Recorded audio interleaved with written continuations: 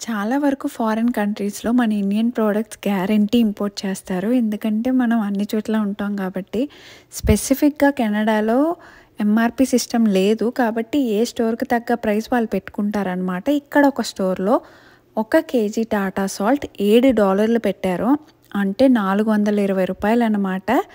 మనం మన ఇండియాలో 25, 30కి కొంటాం అనుకుంటా. సో, అది ఇక్కడ నాలుగు వందల ఇరవై రూపాయలు పెట్టారు.